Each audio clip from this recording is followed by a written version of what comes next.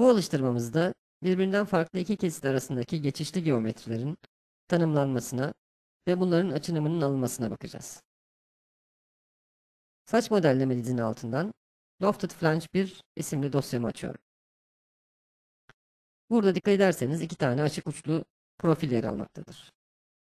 Create paneli altındaki Lofted Flange komutu iki farklı profil arasındaki geçişin tanımlanmasına olanak sağlar.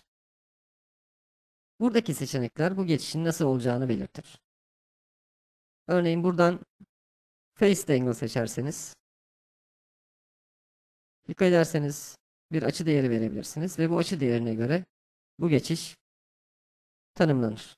OK ile modeli oluşturabilirim. Daha sonra Create Flat Pattern komutuyla bu modelin açınımını elde edebilirim. Bir başka örneğe daha bakalım. Yine benzer eskizler. Lofted Flange komutunu açıyoruz. İki eskizi işaretliyorum.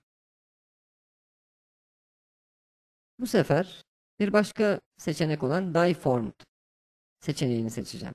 Dikkat ederseniz bu sefer daha düzgün geçişli bir model elde etmiş olacağım.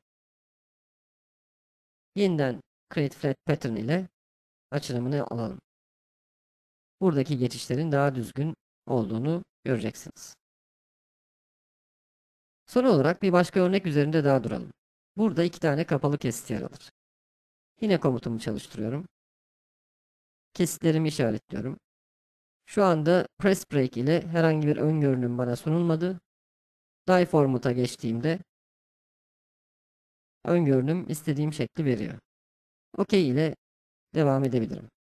Böylece bu üç örnekte Autodesk Inventor'ın size farklı kesitler arasındaki geçişlerin tanımlanmasını nasıl sağladığını ve bunlardan açılımların nasıl üretildiğini göstermiş olduk.